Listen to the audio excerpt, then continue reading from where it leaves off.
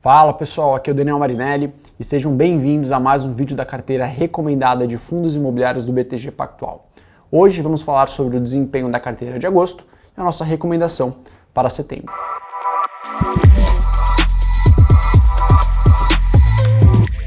Começando com o cenário externo, pessoal, o principal ponto a ser monitorado é o cenário de juros e inflação nos Estados Unidos. Diversos membros do Fed, que é o nosso banco central, é, só que o norte-americano, que tem intensificado o tom da elevação dos juros, mesmo após uma leitura de arrefecimento da inflação em julho. Nosso cenário básico, continuamos com uma expectativa de aumento de 1,25% na taxa até o final do ano, elevando a taxa no intervalo de 3,5% a 3,75%, é, basicamente no final do ano. Olhando para frente, é importante continuar monitorando a elevação desses juros por conta da preocupação de desaceleração da economia americana. Esse ponto pode impactar diversos mercados inclusive o brasileiro. Passando agora para o mercado doméstico, pessoal, tivemos o início da corrida eleitoral. Os candidatos começaram a ter maior espaço na mídia para a divulgação dos seus projetos. Mas a gente segue aqui basicamente acompanhando as propostas e a formação das equipes econômicas.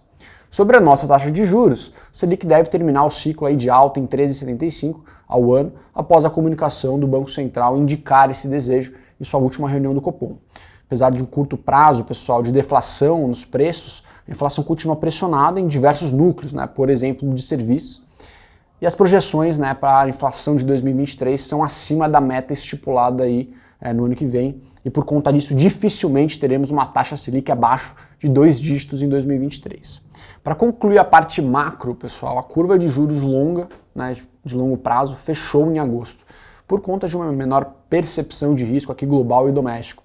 E esse foi um dos principais pontos aqui de otimismo para o mercado de fundos imobiliários no último mês, né, e fez o IFIX aí subir quase 6% em agosto, próximo dos 3 mil pontos, e o maior ápice desde o início da pandemia do Covid-19. Já a nossa carteira recomendada registrou alta expressiva aí de 8,2% é, e bem acima aí do, do IFIX. Os fundos de tijolo apresentaram forte recuperação e registraram, na média, uma alta de 10,5% no último mês. Por outro lado, os fundos de papel registraram queda em agosto. A performance do segmento de recebíveis está atrelada basicamente à queda dos rendimentos distribuídos por conta de uma deflação nos preços no curto prazo, pessoal, que gerou aí temor dos investidores com os dividendos. O movimento exagerado tá, de venda dos FIIs indexados ao IPCA no último mês pode abrir boas oportunidades. Inclusive, nossa troca para o mês agora de setembro foi pensando nisso. Estamos realizando basicamente é, uma alteração pensando no aumento de exposição aqui no CPTS. Saída parcial da nossa posição de RBRR, RBRP e RCRB e aumento de exposição, acabei de mencionar, no CPTS 11. Na nossa visão, ainda que os rendimentos dos CRIs sejam impactados pelo resultado de deflação que foi anunciado em agosto e, e, e tende novamente a acontecer agora em setembro, entendemos que esse efeito tende a ser mitigado no CPTS 11 uma vez que, um, o fundo possui aí correção monetária a distribuir de mais ou menos 84 centavos por cota, e dois, exposição a cotas de outros fundos imobiliários, em especial os fundos tijolo, que se beneficiam desse fechamento de curva que a gente tem visto no curto prazo. O fundo negocia com desconto em relação ao seu valor patrimonial, portanto entendemos que agora é uma boa janela para aumentar a posição né, num fundo que tem uma excelente liquidez. Com tudo na mesa, a composição da nossa carteira recomendada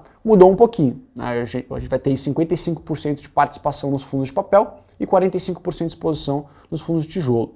Nossa carteira recomendada possui um dividend yield projetado para os próximos 12 meses de 11% e um desconto em relação ao valor patrimonial de 9%. E é isso, pessoal. Vou ficando por aqui.